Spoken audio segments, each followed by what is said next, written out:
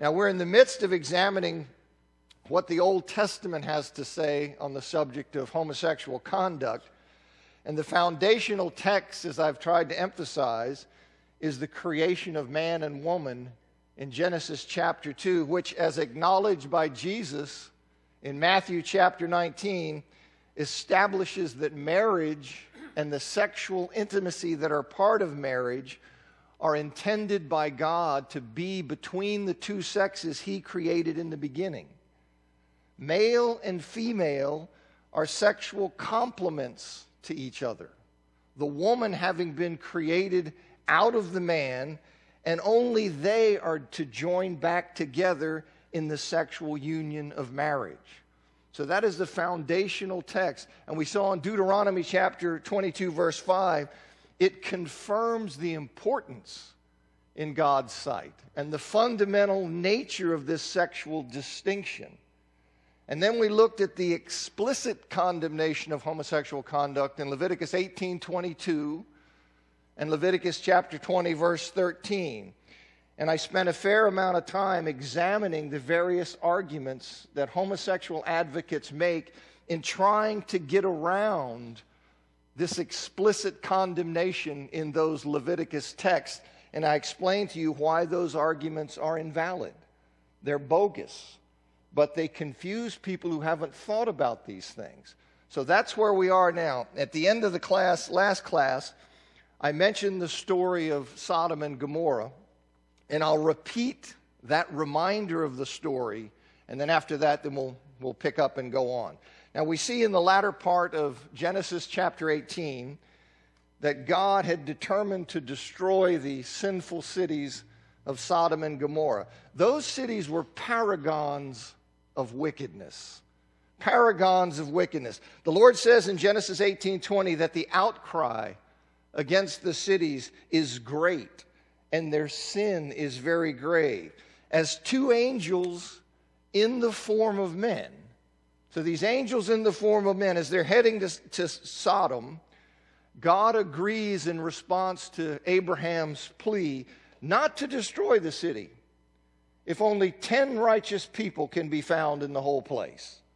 So that's an indication of how bad the city was. In Genesis 19, the two angels they arrive in Sodom in the evening, and Lot takes them into his home, and all the men of the city Young men, old men, they surround Lot's house and they demand that these visiting men be brought out so they can have sex with them. And Lot begs this mob not to act so wickedly. And he even offers his two virgin daughters to dissuade them from raping these men who, unbeknownst to everybody in Sodom, are angels. But he offers his virgin daughters to persuade them uh, to dissuade them from raping these men. And the angels, you remember, pull Lot back, back into the house. They blind the mob. And the next day, Sodom, Gomorrah, and the, the cities of the plain are, were destroyed. Now, the question, as I said last week, the question for our purpose in this narrative, in this story, is whether the homosexual aspect of the intended rape, whether that's presented by the inspired writer as a compounding offense. See, whether it's presented as something in addition to the rape and the violation of hospitality that shows the men of Sodom to be particularly heinous. Is it a compounding thing that the writer intends for the reader to hear and go, oh, they're even doing that? Or is it, so, is it merely incidental to the story? You see, is it something that was not seen as part of the overall wickedness of the people that justified their destruction by God? That's the question for our purposes. Is it an aggravating, compounding offense? The purpose of which is to show just how wicked the people are? Or is it just an incidental fact? That isn't to be considered in, in the idea of the overall wickedness of the people. In other words, is the story like hearing about someone who raped his own mother? Where in that case, you would realize that the incest is an aggravating circumstance. You would say, of course, rape is horrible. But this guy compounded that by raping his own mother. Is it supposed to be viewed like that? Or is it supposed to be viewed as a rape with no aggravating elements? You see, that's the question to get at. And what is God's view of homosexual conduct? Now, before answering that, I should note the claim of a few people who claim that, look, the demand of the mob to, of the men of Sodom to know the visitors. When they gather, then they say, bring them so we may know them. Some people say, well, well, look, that didn't have anything to do with sex at all. They just, it was just a request to get acquainted with the people. Now, people actually say that. Okay, well, that is, of course, silly. To know oftentimes serves as a euphemism for sexual intercourse. And the immediate context here makes that meaning absolutely clear. I mean, in, in 19.8, Genesis 19.8, Lot says his two daughters had not known a man. Well, certainly he doesn't mean they weren't acquainted with any man. he means they hadn't had sexual relations. They were virgins. That's what he meant. And a desire to get acquainted would not qualify as acting wickedly, which is how Lot describes the conduct in Genesis 19:7. And a request to get acquainted that wouldn't prompt Lot to offer his virgin daughters to them. Hi, we'd like to meet these people. Well, here, here are my virgin daughters. Okay, it, it's just silly. But I point that out to you because some you may run across that, and it just shows the extent to which some people will go to try to dodge what God is saying. Instead of sitting at the feet and listening to what God has to say and wanting to know what does God, they come with an agenda and are trying to crowbar the Bible into what they want it to mean. And as I've said, that's no way to treat the Bible. You and I sit under the Word of God, listening to God and doing the best we can to hear what is God saying. Now, we can know that the homosexual aspect of the intended rape there in Sodom, we can know that it was expected to be understood as a compounding, aggravating offense from several lines of evidence. The first of which is the heterosexual prerequisite for sexual intercourse that is expressed in the creation text and the prohibition of homosexual conduct that's expressed in Leviticus in the text that we've already looked at. They establish that God's view, how God views homosexual conduct, and that He views it as a serious offense against His created order. Okay, so there's no reason to think that, that Moses intends that element to be overlooked in the Sodom story. We have Genesis, we have Leviticus, part of the corpus of the law, the first five books. And we see clearly in there how God sees this. And so when that's reported in, in the Sodom account, why would anybody think you were supposed to ignore that element? You see, unless there's some indication, by the way, ignore this or this is different. So that's the first reason. See, And second, according to Ezekiel, let's see if the clicker works today. You ready? Hold your breath. Ah, we're good. All right. Ezekiel 16, 49 to 50 says here that Sodom did not take hold of the hand of the poor needy, that they neglected the poor needy, which is serious. This is sinful. And they grew haughty and committed an abomination, toavah, before me, and I removed them when I saw it. Now, there are those that say, listen, you see that the offense of Sodom, it really had nothing to do with sexual matters, and nothing to do with homosexual conduct at all. The offense really was, you see here, that they simply neglected the poor and the needy. And that is what it was, you see, that's how they grew haughty. It was through their, through their neglect of the poor and needy. And that was the abomination that they did. It was simply their neglect of the poor and needy. That's, that's one of what the things that they say. But you see here that Ezekiel, he sits here, he says, and they grew haughty and committed an abomination. And we can see in the next text I'll put up in Ezekiel 18 that Ezekiel views committing an abomination as a distinct offense from their neglecting the poor and needy. You see in 18, 10 to 13, says if, if, a father's, if he fathers a son who's violent, a shedder of blood, who does any of these things, though he himself did none of these things, who even eats upon the mountains, de- defiles his neighbor's wife, oppresses the poor and needy, commits robbery, does not restore the pledge, lift up his eyes to the idols, commits abomination. So you see here in this situation, just two chapters later, you see that Ezekiel distinguishes between neglecting the poor and needy and committing an abomination. So back in the in the Ezekiel text 16, 49 to 50, where he says, They did not take hold of the hand of the poor and needy, and they grew haughty and committed an abomination, he's referring to distinctive offenses. Well, what would the distinctive offense be of committing an abomination? Well, we have a good idea. In Sodom, males were seeking to have sex with males. And in Leviticus chapter 20, verse 13, that offense is specifically labeled what? An abomination. Okay, so it makes sense that this is how Ezekiel is understanding what's going on. Robert Gagnon says Ezekiel in 1650 was apparently interpreting the Sodom episode through the lens of the absolute prohibition of man male intercourse in Leviticus 18:22 and 2013 indicating that he understood the same sex dimension of the rape to be a compounding offense. Okay, so that's the question we're looking at. When the Sodom story, how are we to understand the homosexual aspect of the intended rape? Is it an aggravating circumstance? Is it part of the wickedness? And the answer is yes. We see that from what God says in the Old Testament about homosexual relations. We see it here in Ezekiel. And then, third, in Jude, verse 7, Jude, verse 7 says that God judged Sodom and Gomorrah because they indulged in sexual immorality and went after different flesh. Okay, so he's, he's specifying here. They indulged in sexual immorality and went after different flesh. So sexual immorality certainly was part of their guilt. So the idea that it was simply their neglect in the poor and needy is ruled out. Certainly, sexual element was there. But what is this thing? They, they uh, indulged in sexual immorality and went after different flesh. Well, the claim that some make here in Jude 7 is well, what was sexually immoral about what they were doing? It wasn't their attempt to have sex with the visitor.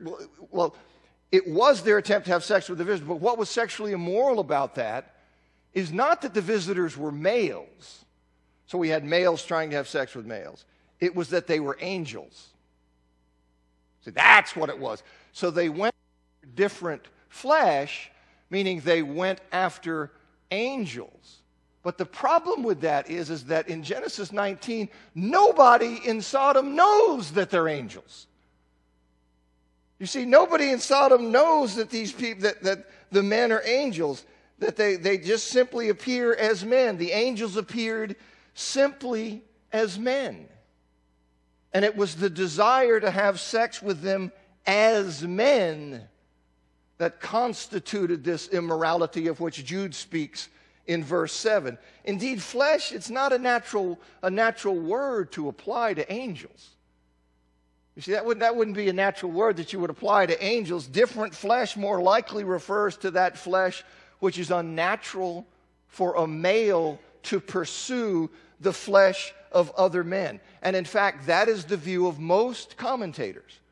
It is not some, you know, niche of some fundamentalist, small minded, homophobic, hateful group of people.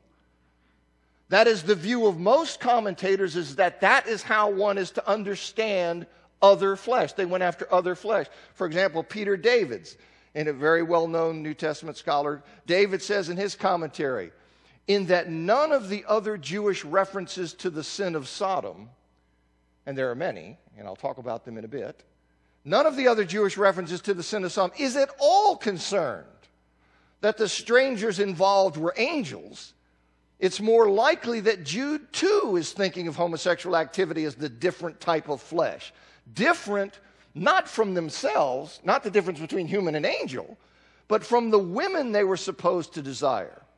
This would be in line with the general Jewish rejection of homosexual relations. So, on the Sodom story we're looking at, the question is is the fact that it's male on male, is that to be, is the homosexual aspect to be seen as an aggravating or compounding circumstance? That seems to be how Jude sees it.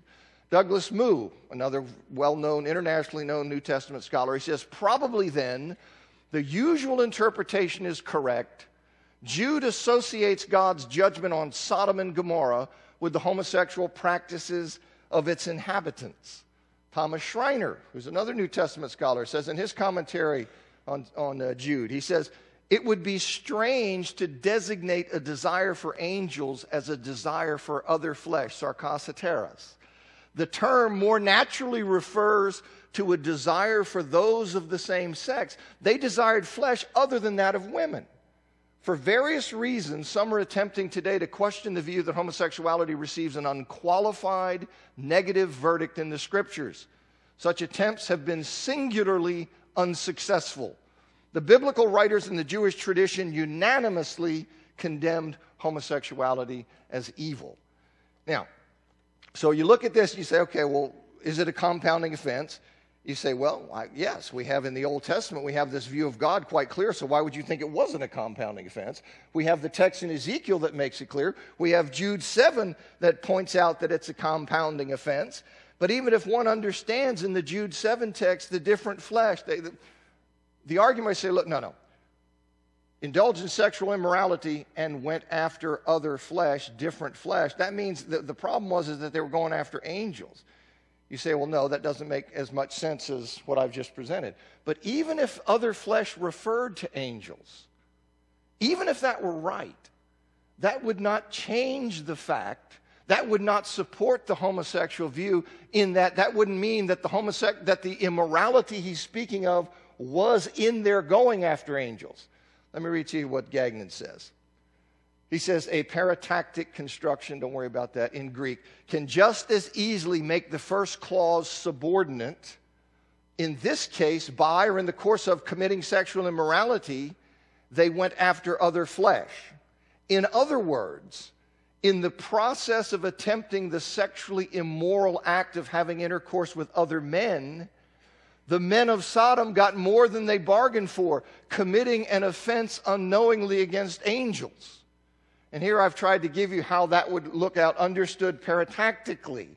It would be likewise Sodom and Gomorrah and the cities around them, which in similar manner to these indulged in sexual immorality by going after men, and thereby, in the course of indulging in that sexual immorality of going after men, went after, unbeknownst to them, different flesh, angels, as set forth as an example by undergoing a punishment of eternal fire. So even if you bought that argument that, look, no, other flesh refers to angels, it doesn't rescue their position.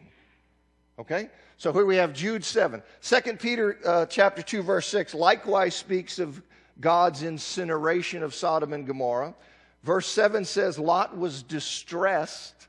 2 Peter 2 7, he says, Lot was distressed by the conduct of the lawless in their licentiousness in their licentiousness. So the destruction is associated with the people's licentiousness, and the word licentiousness refers generally to a lack of self restraint that leads to conduct beyond all bounds, but it speaks especially of sexual excesses. It speaks particularly and especially of sexual excesses. So Peter interprets the Sodom story as involving sexual impropriety, contrary to the argument that it was simply the neglect of the poor. Okay, he interprets it as involving sexual immorality. Douglas Moo writes, he says, as Peter points out, Genesis 19 suggests that Lot did not participate in the rampant homosexuality that characterized the cities and was indeed distressed by it. So these are all reasons when I look at this text and somebody comes to me and says, oh, no, no, you're misreading this idea. The, the homosexual aspect of the intended rape at Sodom is simply incidental. It's not to be understood as an aggravating circumstance or a compounding offense to heighten the wickedness of the inhabitants there. It's not to be understood similarly to the case of somebody who rapes his own mother. No, no, it's just an incidental thing. I'm going through the reasons why I'm not convinced by that. Now, another reason is, is that ancient Jewish interpreters, they recognized Sodom's wickedness included the homosexual element of the men's intended action. So I'm not like the Lone Ranger here. I'm standing in a stream of interpretive history where all of these Jewish people understood this. So it's not bizarre, it's not quirky, it's not trying to foist something on the text. I'm standing in the stream of how people have read it forever. An example Philo, first century Jew. Philo is a first century Jew. He writes in his work, Abraham, he says, The Sodomites threw off from their necks the law of nature and applied themselves to forbidden forms of intercourse. Not only in their mad lust for women did they violate the marriages of their neighbors, but also men mounted males without respect for the sex nature which the active partner shares with the passive. So, this is how Philo, a first century Jew, understood this. The homosexual element of the Sodom story is noted in Josephus, who's another first century Jewish writer. Earlier Jewish texts, going back a century or more, speak condemningly of Sodom's fornication. You see that in Jubilees, you see that in the Testament of Benjamin. And these presumably include the homosexual element as part of the offense when they speak condemningly of Sodom's fornication, with all that we see about how God views homosexual conduct. So you see, how are the Jews viewing this? Well, they have understood that the homosexual aspect is something that is an aggravating circumstance there. And finally, on this point about how whether Sodom, the homosexual aspect is an aggravating circumstance in Sodom, Early Christian writers routinely emphasized the homosexual aspect of the Sodom story. David Wright, who he died in 2008, but he was an internationally recognized expert on the thought of the early church. David Wright says many fathers emphasize, he means early church people, the homosexual lust of the Sodomites. Now, why am I saying that? This is because this is, we not only have the Jewish stream, we have the early Christian stream. How are they understanding this? I'm not the Johnny come lately. It's these people who, within the last 60 years, after thousands of years, have said, oh, you know, we've seen something nobody else saw before. Okay? Now, if you got that kind of insight, you're going to have to argue that. You see? You don't just get to declare that. Because right away you have to be suspicious. When you've got something novel, after thousands of years, you're going to have to make that case. Okay? And that better be a strong case. But anyway, Wright says many fathers emphasize the homosexual lust of the Sodomites. He cites his examples Methodius, John Chrysostom, Macarius, Augustine, Gregory the Great. He says some criticize other aspects of their depravity, but no patristic source excludes a homosexual interpretation of their conduct. So you have many specifying that, some talking about other things, and none excluding that. Now, you see a parallel. So this is the Sodom story, another aspect of the Old Testament's view of homosexual conduct. We see a parallel to that in the rape of the Levite's concubine in Judges chapter 19. Judges chapter 19, verses 22 to 25. You know the story. There's a Levite from Ephraim. He's returning to Ephraim from Bethlehem with his concubine. And they stopped in Gibeah, which is a territory in Benjamin. They stop in Gibeah and they're finally taken in by an old man who, who was himself originally from Ephraim. And just as in Sodom, what happens? The men of the city, they, they come and they demand that the old man bring out the male visitor so that they can have sex with him. Now, you see, what this is, is this is paralleling. Here we had Sodom. Now, this is taking place within Israel. No angels, by the way. This is taking place within Israel. And the old man urges them not to act wickedly and not to do this not to do this disgraceful thing. And the old man offered his virgin daughter and the concubine. You see, rather than have them do this shameful thing to this Levite man, he offers his virgin daughter and the concubine, but the men were unwilling. And then you remember the Levite shoves his concubine out the door. He throws her out the door, and she was raped and murdered, and this became a national outrage which triggered a, triggered a civil war which, uh, in which the tribe of Benjamin ultimately was defeated. And so here we have this situation. Now, given the condemnation of homosexual conduct that God makes clear in the creation text, in Deuteronomy, in Leviticus, in Sodom, given that condemnation, one cannot reasonably claim that the homosexual aspect of this episode didn't add to the dimension of horror that was felt by the old man and the Levite and the author of the book of Judges. Here's what Gagnon says Repugnance for male penetration of males must have been a significant factor in twice designating the demand for intercourse with the Levite as a disgraceful thing. Much greater than that involving intercourse with the old man's daughter and the Levite's concubine. Is that bad? Wrong? Sure it is. But part of the idea is to show it's that crazy. It's that wicked. You see, it's, it's gone to that level.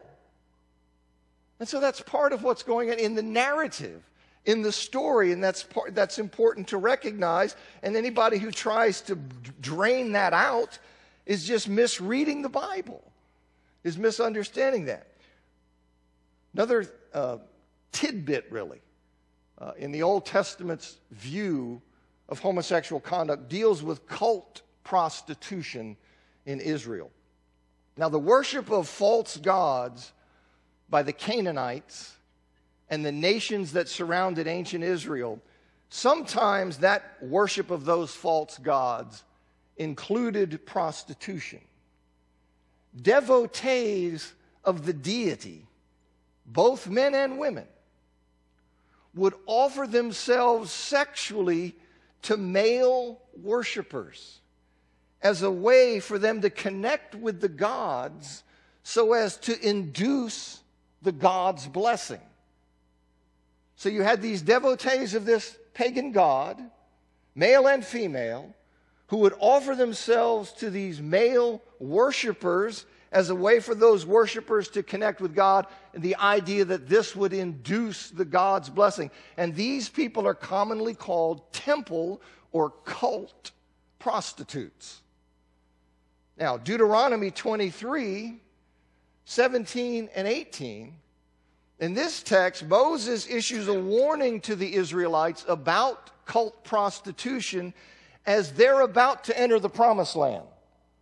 So he's warning them about this.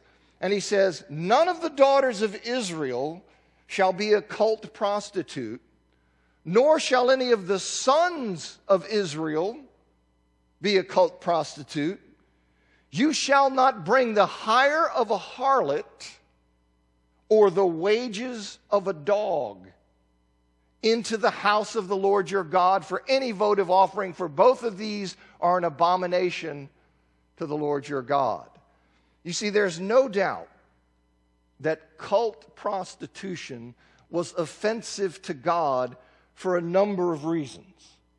Okay, there's no doubt about that. But notice that the male prostitute, the male prostitute is given the label dog in verse 18. The male prostitute gets that. It's obvious from the parallel, right? Daughters, cult prostitute, son, cult prostitute, hire of a harlot, wages of a dog. I mean, it's that it's referring to the male cult prostitute is obvious from the parallel. And in fact, a number of translations, like the New Revised Standard, the New English Translation, the Christian Standard Bible, the New International Version, they in fact make it clearer by simply translating dog there, male prostitute. So they, they go ahead and just specify it. But what it says is dog. And dog, it refers to a male prostitute. And dog was a pervasive slam in the ancient world. It was a pervasive slam in the ancient world. And the fact that epithet is applied to male prostitutes is in keeping with God's consistent and strongly negative view of homosexual conduct throughout the Bible. Why do you think they're referred to that way? God's being mean. No, God is expressing his revulsion at it. That's why. That's not new, is it? What does he say in, in, in Leviticus? So that, that's just a, a little tidbit that's easy to miss, that is consistent with God's view there. Now, before examining, I've been looking at what the Old Testament has to say. I'm going to go on and to look at what the New Testament has to say. People are wondering, you know, how can you take this many weeks? Well, there's a lot of stuff to talk about. And there are a lot of arguments to try to address. But I'm going to move on to the New Testament. Before I do that, it's helpful to see how homosexual conduct was viewed in first century Judaism. I mean, that's relevant, right? I mean, since Jesus, the apostles, all the writers of, of, the New Testament except Luke, since they're Jews, we can assume, unless there's some indication to the contrary, that they shared the Jewish view of things. Right? I mean, they're, they're Jew, first century Jews. They're the ones writing. So, this is important to understand. Being aware of this religious and cultural context, see, that will help us to interpret the New Testament correctly. So, before going and examining the text of the New Testament, I want to look at first century Judaism's view of homosexual conduct. This also will tell us are we on the right track? Have I imposed on these texts some kind of eccentric and odd interpretation that those in the, in the first century didn't share? Well, if you did, then you, you got to go back and rethink. And maybe, maybe you still have insight, and maybe they were wrong. That happens sometimes. But let's, you know, it's important to look. Now, extra biblical, outside the Bible, extra biblical Jewish writings before, during, and after the first century are unanimous in their rejection of homosexual conduct, which comes as no surprise. At least I hope it doesn't come as a surprise, given the condemnation of that conduct in the Old Testament as I've tried to explain it. I would have been shocked, given this evidence, if somebody came and said, by the way, this is okay. Well, they don't. They unanimously see the text the way I've laid them out for you. That in fact, it is condemned.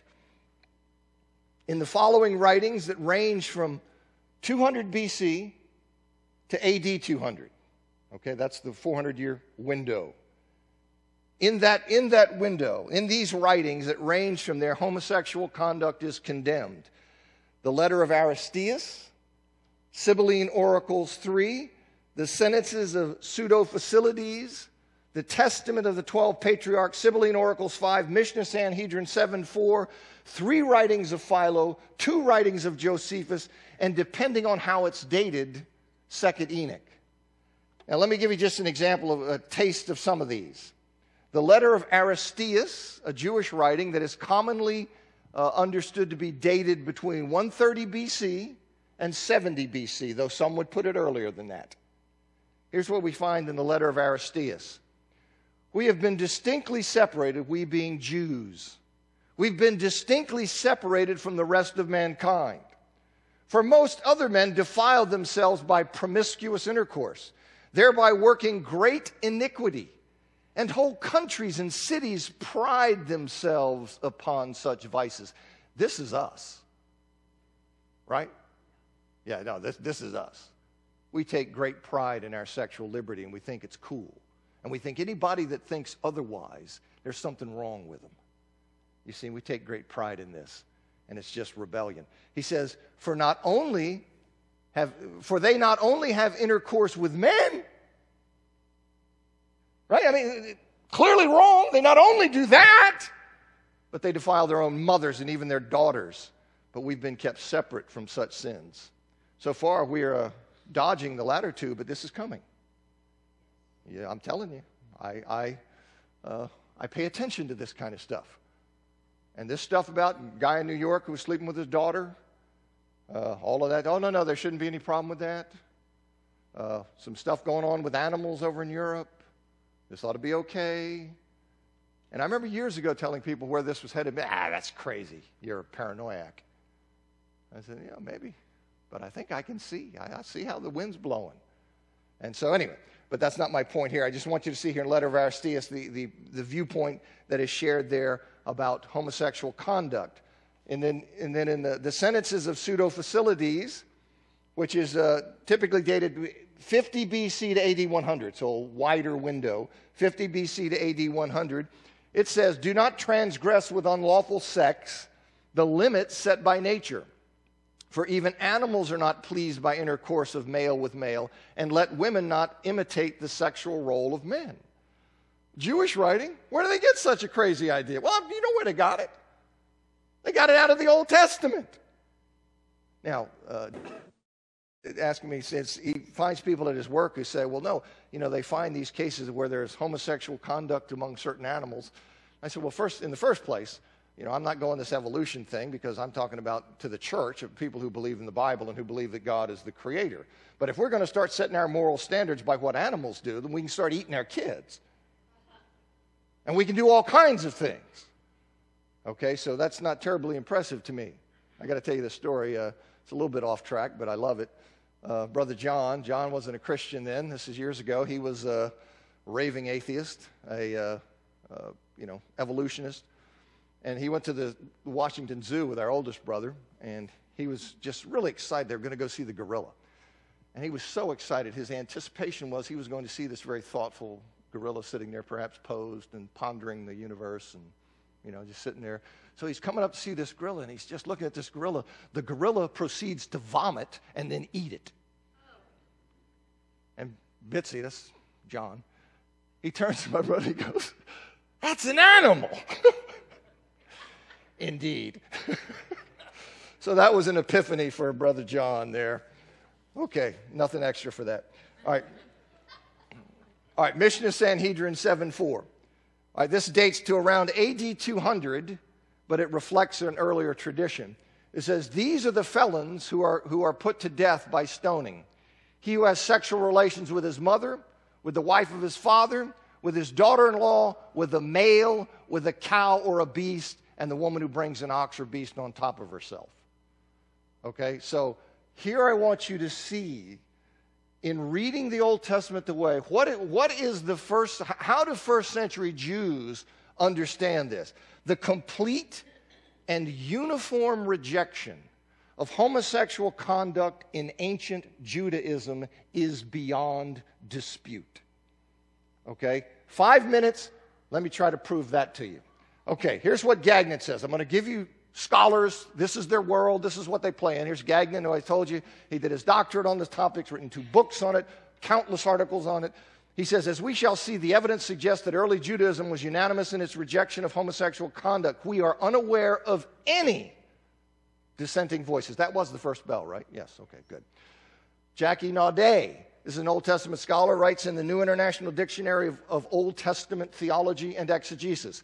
The uniform conviction of the Israelites was that coitus should be heterosexual as part of the order of creation. Craig Keener, a prolific, well known Bible scholar, ancient Judaism regarded homosexual activity and bestiality as subcategories of the larger issue of sexual immorality. Jewish people usually viewed homosexual behavior as a pervasively and uniquely Gentile sin. They thought, this is so crazy. This is the mark of Gentiles. And he says, they regarded homosexual behavior as meriting death or punishment by God in the afterlife. According to the Dictionary of Judaism in the biblical period, you probably didn't know such a thing existed, but it does. It says the rabbis deemed the biblical prohibition against homosexuality to be one of the seven Noahide commandments which apply to all nations of the earth. Further, like Romans, Paul's letter to the Romans, rabbinic law explicitly extends to women the biblical prohibition against homosexuality, forbidding sex between women under the general prohibition against following the abhorrent practices of the Canaanites. At the time, at least as far as Jews were concerned, the rabbis apparently saw homosexuality and lesbianism as almost unthinkable and only infrequently referred to such practices.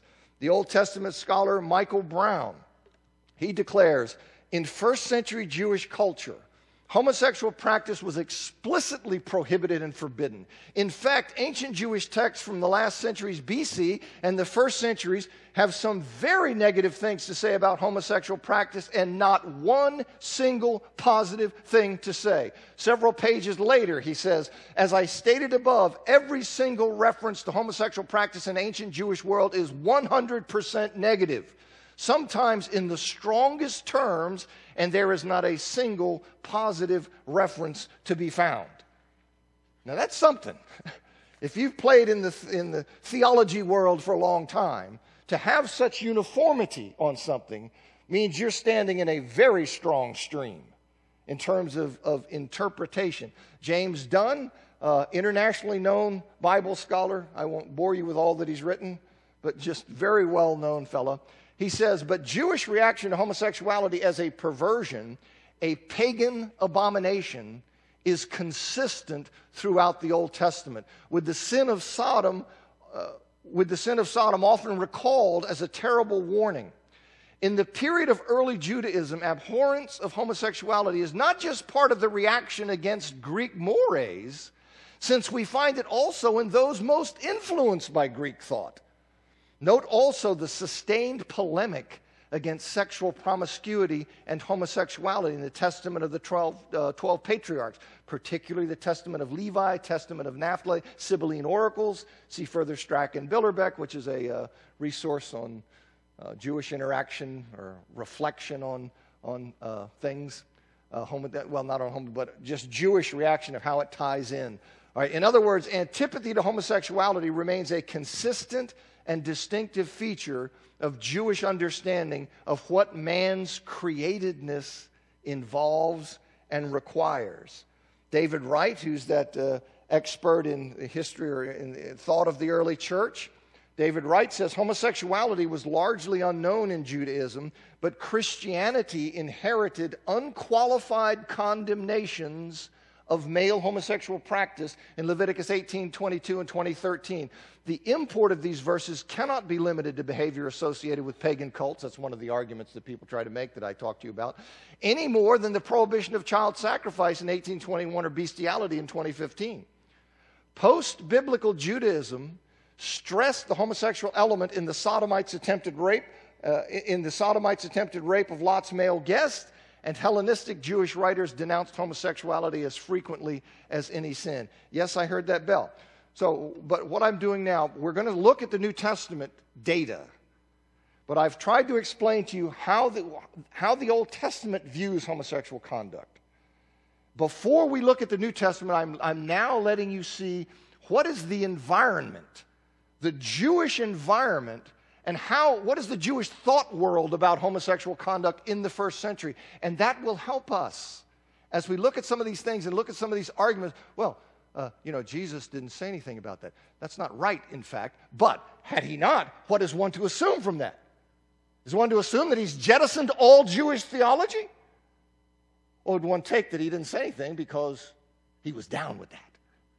You see? That'd be the question Anyway, that's why I'm telling you this. I want you to see how I'm doing it. Then after this, we'll go on. I have just a little bit more to say here. Then we'll go on and look at the New Testament text, and then we'll be finished. Okay? Thanks for coming.